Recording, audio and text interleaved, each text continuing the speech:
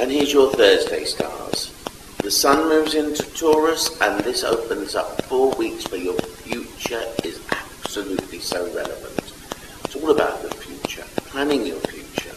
What are your hopes, wishes, and dreams? There's this juxtaposition of planets in your 10th house of ambition, and now the sun lights up your area of the future. Couldn't be better. It's time to strive for what you want. It's time to go after your future because it really does start here.